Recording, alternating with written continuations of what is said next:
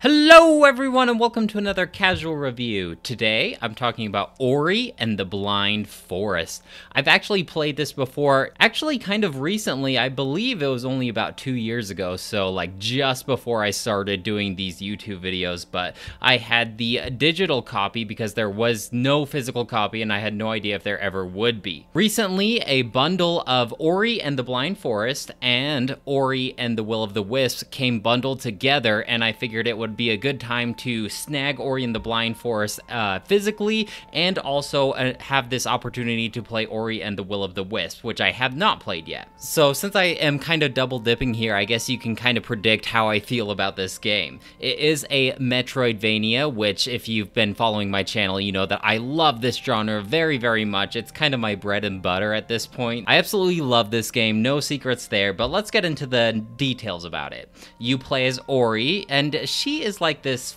I don't know how you would even describe her. She's like this glowing fox with small wings that walks on her hind legs, but uh, there's like she has like four ears. I don't know. She's she's kind of weird, but she's also pretty cute. She's just like this little glowing fox thingy. The plot is it takes place in this like mystical, ethereal fairy wonderland, and the uh, great spirit tree that basically like fuels the essence of the whole forest is dying, and Ori is actually I this is how I interpret it. There's not too much in terms of like vocal narration, but uh, Ori is like a race that cares for this spirit tree, I guess. And uh, she gets separated from the spirit tree, and like a bunch of time passes, and the spirit tree is dying because this giant shadowy owl like takes the the light orb from the spirit tree. So it's dying, and it needs Ori to come and uh, get the light orb essences back to it to to heal it up. The spirit tree is actually like the narrator of this game. When you reach certain parts of it, it will reveal kind of more about the story itself, but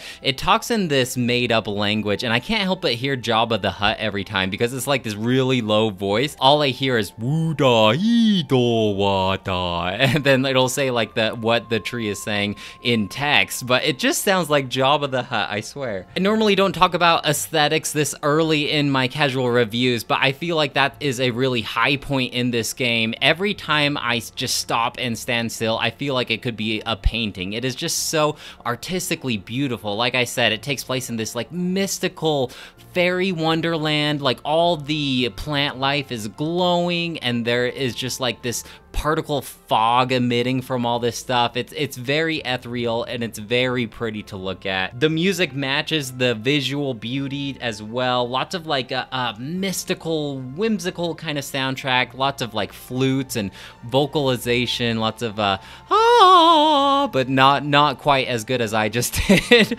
um, but it, it is trust me, it's very good and it matches. It's just such a fun game, a fun world to be in aesthetically and uh, audibly I really like the soundtrack here. The combat is actually pretty unique as well. In normal Metroidvania games, at least the ones that I played, you're either using like a melee weapon or if you're playing something like Metroid, you are shooting with a gun. In this one, you have this little companion. She's It kind of acts as Ori's guide and it is basically like your main means of attack where uh, if you just press the attack button, she has this like short-ranged homing missile attack. And as you progress, as you level up, you are able to upgrade this attack, but uh, it's, it's kind of interesting because like as long as you're near the enemy and pressing that attack button, you'll start attacking them. But you have other means of damaging enemies as well, and just like all Metroidvania games, as you progress through the game, you get new traversal abilities, but you also get new combat abilities, and a good Metroidvania game will be able to blend these two abilities into one. For instance, my absolute favorite mechanic in this game is the ability to bounce off enemies and enemy projectiles and it, you kind of like launch yourself forward in the given direction and whatever you are launching off of will ricochet behind you. So if an enemy is shooting a projectile at you, you can ricochet the projectile back at the enemy, which I thought was really fun. And if you're really good at this game. By the end of the game, once you've unlocked all of your powers, you can pretty much play through the whole game without ever touching the ground if you are good at this projectile and bouncing off walls and using your little hover ability. It's it's a lot of fun moving around this world, and Ori herself moves very fluidly, um, almost too floaty. But once you get used to her floatiness, she's almost like not. She's almost like resistant to gravity, and she it kind of reminds me actually a little bit of Metroid Dread now that I think about it. Just how floaty and fluid she moves, and once you really get a handle of how she moves, it feels good. But at the beginning, you might get a little frustrated with the platforming because she is a lot floatier than most other platforming characters are. So I mentioned leveling up just a second ago. Uh, enemies that you defeat will grant you XP, and then you can use that XP every time you reach a certain threshold to go into a skill tree, and the skill tree is one of three different paths. One is for like helping you find collectibles, one is for combat, and one is more for like platforming. I actually went more into the collectible route this time at the very beginning. At the end of the game, I was able to fill all three paths of the tree, and that might have been because I went straight into this exploration part uh, first, because namely, it reveals all these hidden upgradable objects throughout your map, so you can find them instead of having to backtrack all the time, and that really helped me level up really quick. I did not 100% complete this game. I did my first playthrough of this game. I went back and got all the collectibles and everything, and I actually got pretty close, not even trying on this playthrough, because, like I said, everything's revealed on the map, but, you know, I just have Ori and the Will of the Wisps looming over my head, and I'm so excited to get to that one, because I haven't played that one yet, so not 100% completing this one, although it is actually really fun and manageable to do so. Now, if you're not too adept at this kind of platforming combat Metroidvania style, you may feel that this game is actually pretty difficult. I,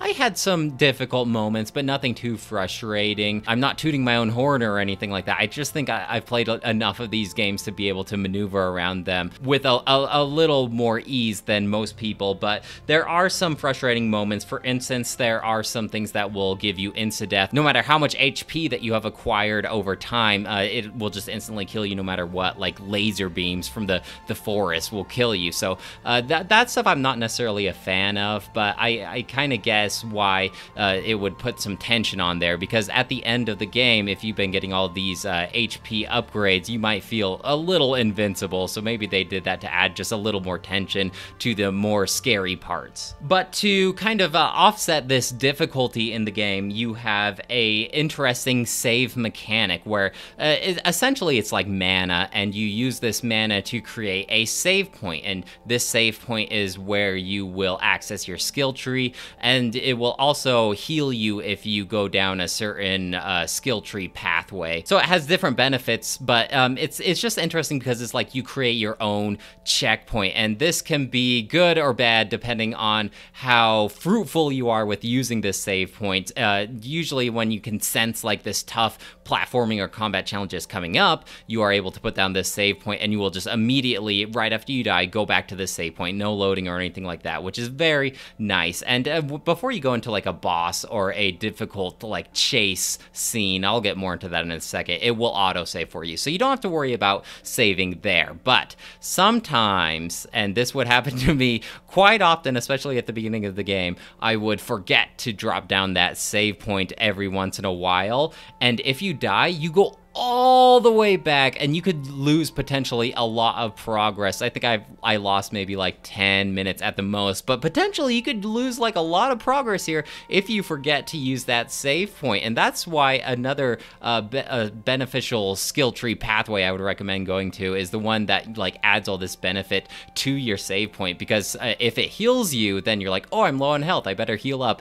And at the same time, you're also making sure that you save constantly. It feels good just just discovering all the upgrades for Ori, not even just like the Metroidvania uh, abilities that you unlock over time, but also, you know, it's like the equivalent of Metroid's missile capacity upgrades. You know, it's just nice getting extra HP and mana as you go along. Uh, at the end of the game, if you're full of, if you've unlocked all of the levels on the skill tree, then maybe it's not as exciting to get the XP part of things, but it's just fun. Like you, you see the little icon on your map and then you do a little puzzle to get to there and I don't, it, it's just fun and manageable, and I could easily 100% complete it again without uh, too much frustration. To go along with that, I feel like the map itself is easy to understand. It's it's clear. Sometimes when you get maps, they can be like overlapping and and just a little uh, unclear on how you're going to get from point A to point B. Here, totally easy. There are also like these warp points that you can save at, and they they will teleport you across the world if you wish. Some surprisingly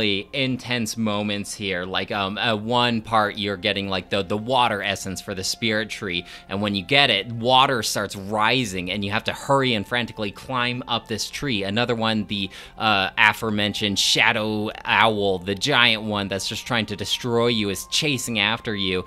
Um, uh, and then there's like this another section where you have to hide from it, and if you are exposed from this owl for too long, then it'll like snatch you up. Very intense, but there's also like some surprisingly tranquil moments as well, like uh, just calm water, and there's just like the light music, and there's sun rays glowing through the water and refracting all over the place.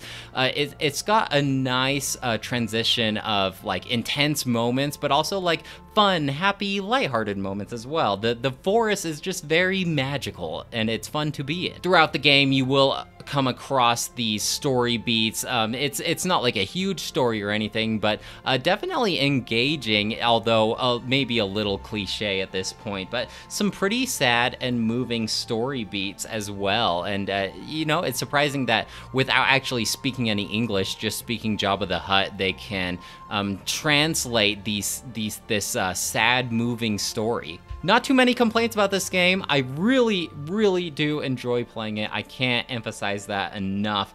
Um, just one tiny little complaint other than the insta-death, which I feel like is a little unfair. The camera doesn't always follow Ori. Sometimes I feel like the camera is just like, yeah, but look over here. And I'm like, yeah, but Ori's in the corner. Maybe you should just keep Ori in the center of the screen so I can see where I'm platforming. But for some reason, the camera's like, no, but you want to, you want, really want to look at this stuff stump here. It's a really cool looking stump, and uh, just I, I just feel like uh, you know let's just put Ori in the center of the screen at all times so I can actually do my platforming and speed running with ease. So yeah, no surprise here. I think I will give this game a five out of five. It checks all the boxes for me. The main one being that it is a Metroidvania that is fun and easy to play. Easy in terms of like uh, uh, control and accessibility, but don't get me wrong, you will feel actually pretty challenge, especially if you're playing this game for the first time. Well, guys, that's it for me. Let me know if you have any questions or comments about Ori and the Blind Forest, and I'd love to hear what you have to say. Otherwise, I'm gonna go play Ori and the Will of the Wisps. Bye!